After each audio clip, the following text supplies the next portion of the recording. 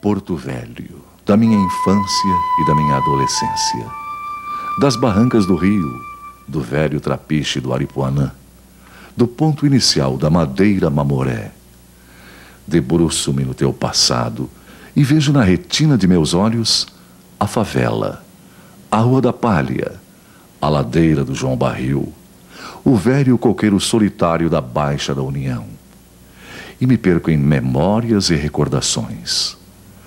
Porto Velho das reuniões do Bar Central, da velha Ponte Guapindaia, do Parque Municipal, do Buraco do Aníbal e do Chico do Buraco, das velhas casas de madeira dos ingleses, Casa 6, 3, Hotel Brasil, do Paraíso e do Clube Internacional. Porto Velho do Igarapé Grande, de águas brancas, cristalinas, murmurejantes. Do Beco do Mijo, da Ponte do Suspiro, da Vila Confusão. Porto Velho cosmopolita de espanhóis, portugueses, ingleses, barbadianos, nordestinos, colonizadores. Porto Velho do Pedro do Rádio, do Macedo Telegrafista, do professor Carlos Costa, do Butione, do Aloísio, como dizia o Getúlio. Porto Velho das figuras populares, Zé Quirino e Tainha, da política apaixonada, Cutuba e Pele Curta. Porto Velho dos diminutivos, Ferreirinha, Oliveirinha, Teixeirinha, Freitinhas. Porto Velho do gabarito da Fifi Lorotoff, do Nuno Quarto, do João do Vale. Porto Velho do footing da Praça Rondon, de mil lembranças que trago dentro do peito, na minha saudade. Berço de minhas filhas, de meus filhos, de minhas ilusões. Porto Velho que dia a dia cresce a retorcer-se num canto de meu coração.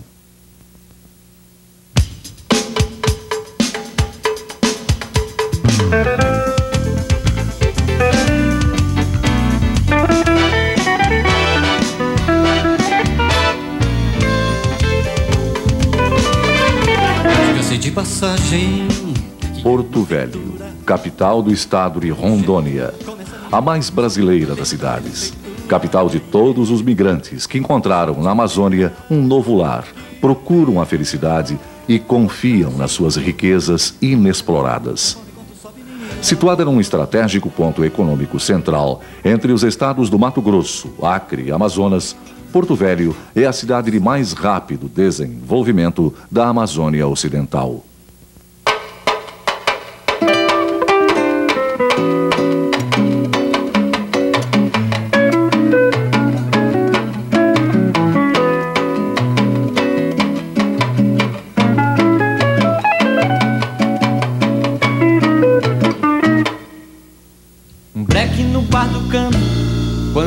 Um garotão ressonar. Porto Velho está localizado às margens do Rio Madeira. Sua população residente conta com cerca de 400 mil habitantes, numa área de 52 mil quilômetros. O nome Porto Velho tem origem num ponto inicial da construção da lendária estrada de ferro Madeira Mamoré. Era o Ponto Velho, onde ancoravam os navios que traziam equipamentos e trabalhadores para a ferrovia, onde também morava um velho chamado Pimentel.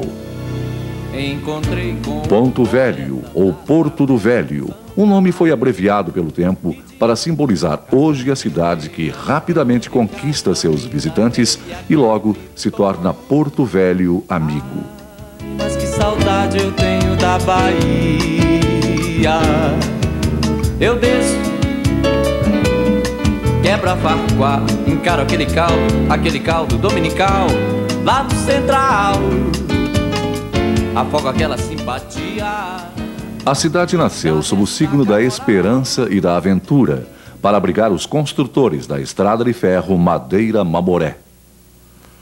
Uma obra que exigiu muita coragem e muito sacrifício para abrir caminho na impenetrável selva equatorial, para estender até o Rio Madeira uma rota comercial que começava na fronteira com a Bolívia.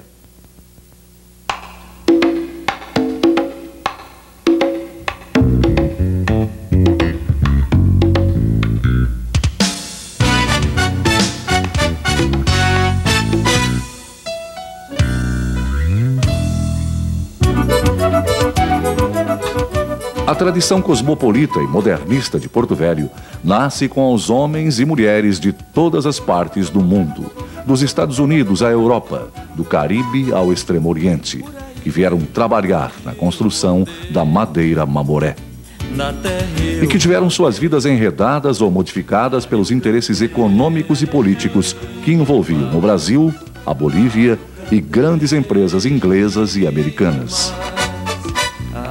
Iniciada em 1872, a construção da ferrovia somente seria concluída 40 anos depois, em 1912.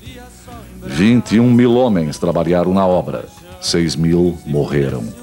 A estrada custou 62 mil contos de réis, equivalentes a 28 toneladas de ouro.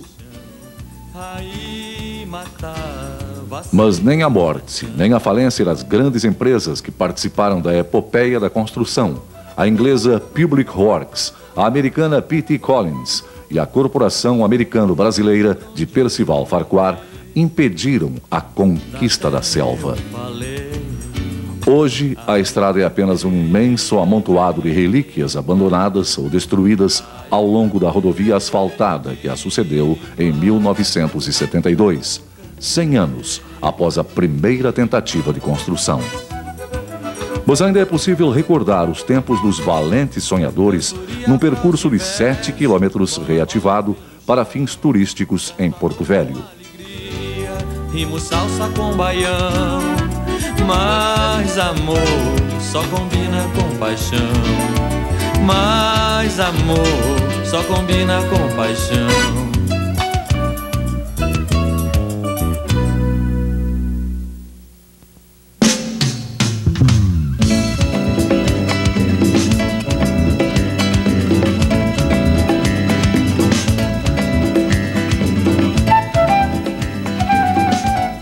Após os ciclos da produção da borracha, a principal mercadoria que a extinta ferrovia transportava, e dos garimpos de cassiterita e ouro nos anos 70 e 80, as suas feições urbanas vão se modificando. Consolida-se o seu papel de entroncamento econômico regional e sua importância como elo entre os mercados do Centro-Sul e as fábricas da Zona Franca de Manaus. O porto do Rio Madeira dispõe de infraestrutura para movimentar todos os tipos de carga, representando uma das mais importantes hidrovias amazônicas de exportação para grandes centros internacionais de consumo. O aeroporto de Belmont está interligado às principais rotas aéreas do Brasil. Já se fala em sua internacionalização, pois está equipado para as operações de grandes jatos intercontinentais.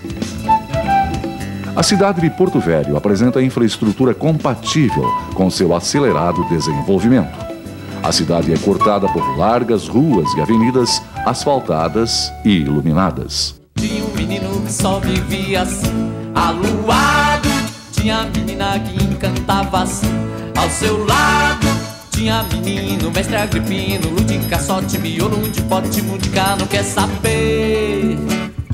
Moça no cio, boto vadio, encanto e desgosto, lezeira, encosto, Dona Preta sabe benzer. Dona Preta sabe benzer. Cobra grande foi quem me falou. E Capó foi quem me mostrou. Mãe d'água também confirmou que esse caos é pura verdade, doutor.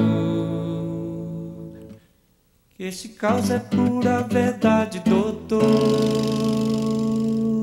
E quem quiser que conte outro, e quem quiser que bote outro, verá na beira do rio Madeira. Quiser que conte outro, quem quiser que bote outro, um beira na beira do rio Madeira.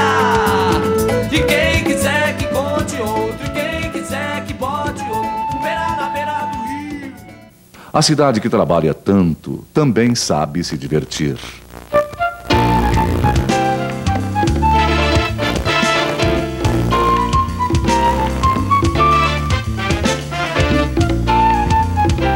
O carnaval de Porto Velho nas ruas e nos clubes mantém a tradição como um dos mais animados do norte do Brasil.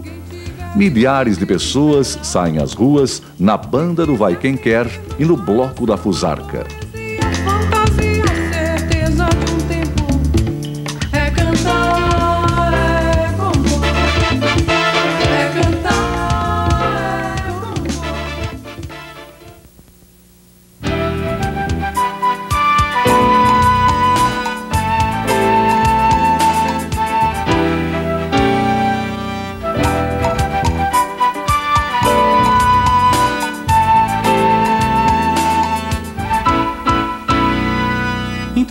Coração na curva do rio,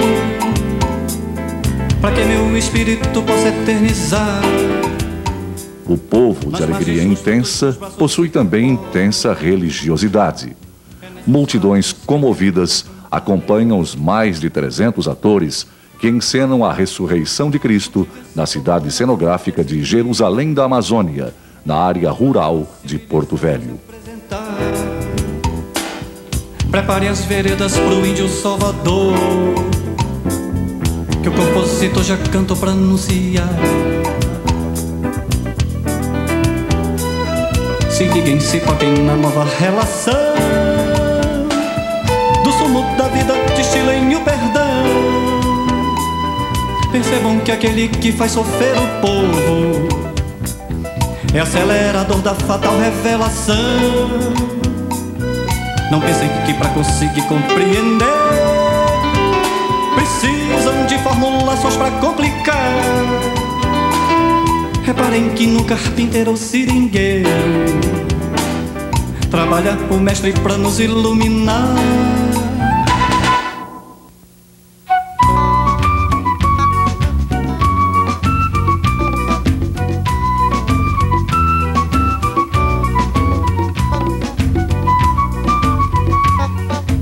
Em junho, milhares de pessoas participam de uma das maiores festas folclóricas do país, o Arraial Flor do Maracujá, um festival de gastronomia típica amazônica, simultâneo a espetáculos de quadrilhas e bois bumbás. Uma festa de cores, ritmos, sabores, singular, exótica, inesquecível. Riachos e rios, mulateiro e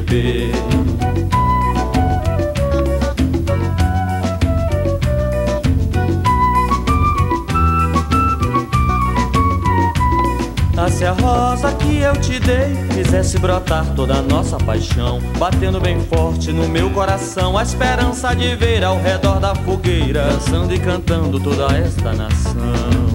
A esperança de ver ao redor da fogueira, dançando e cantando a nação brasileira.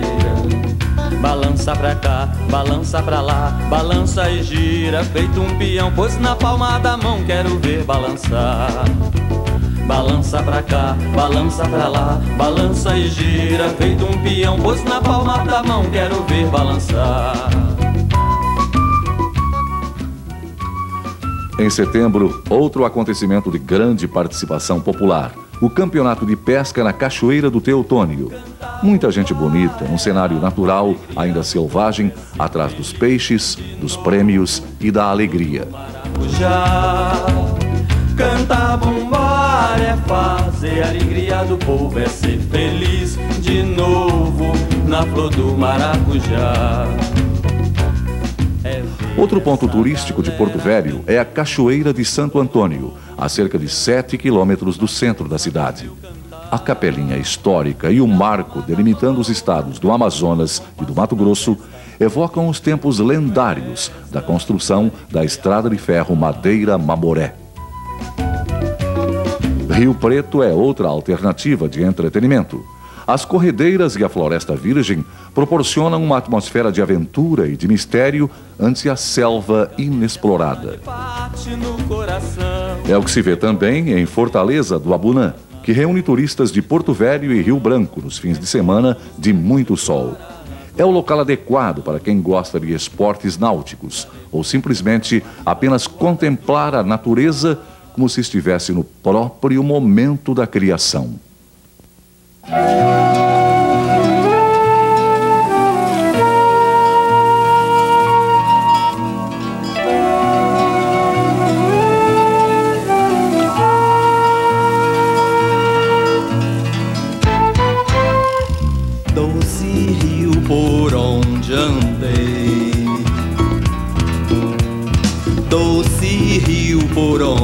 Andar.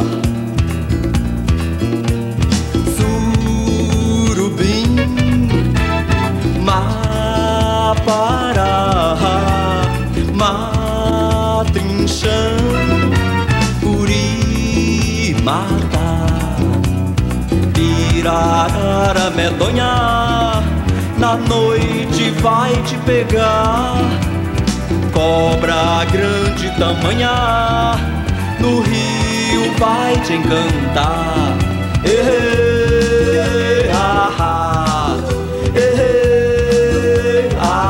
Mas é o lago do Cunhã, a algumas horas de barco de Porto Velho, que apresenta a própria visão do paraíso. É um grande lago fluvial, localizado numa reserva biológica de 104 mil hectares. A visita ao lago é espetacular até mesmo durante o percurso pelo rio Madeira, que tem esse nome porque sua correnteza transporta os troncos das árvores que a erosão das águas arranca dos barrancos. Doce rio por onde andar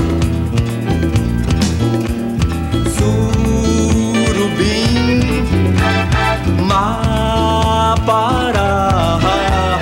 Matrinchã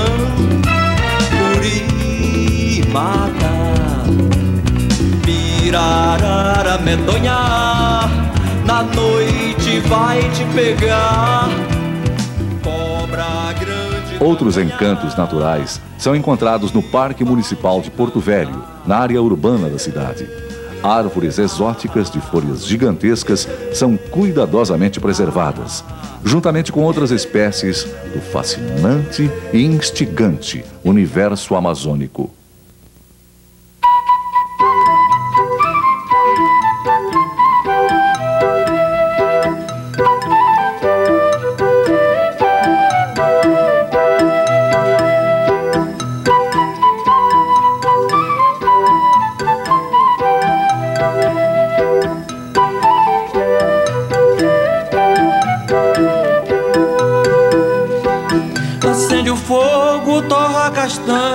Limpa o pilão. Pila farinha, traz o açúcar, cuida do sal. Acende o fogo, torra a castanha e limpa o pilão. Pila farinha, traz o açúcar, cuida do sal.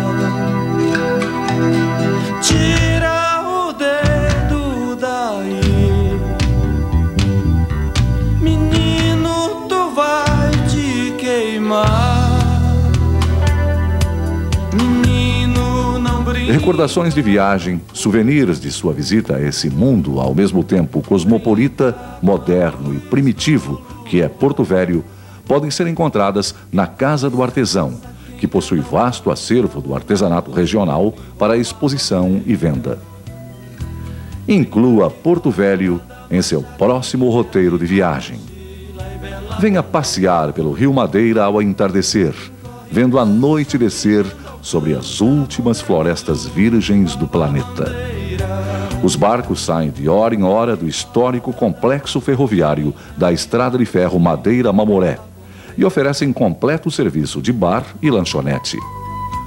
Retorne à época dos pioneiros da Amazônia num passeio ferroviário até a Cachoeira de Santo Antônio. Volte aos heróicos tempos das locomotivas a vapor, visitando o Museu da Estrada de Ferro um tempo em que parecia impossível erguer a civilização no meio da selva equatorial. E que ainda mantém vestígios como as três caixas d'água construídas no início do século para abastecer a cidade que nascia. E que hoje são seu símbolo. O símbolo da amizade que a cidade do sol tropical oferece aos seus visitantes em suas praças, em seus clubes nas suas festas e na sua fé, que respeita todos os credos, porque é uma cidade de todas as raças. Porque este é o porto das esperanças, de todos os sonhos de felicidade e de paz. Porto da vida, da liberdade, do jeito simples de viver. de confiar no futuro, porto do renascer, porto velho de quem volta sempre, porto encanto.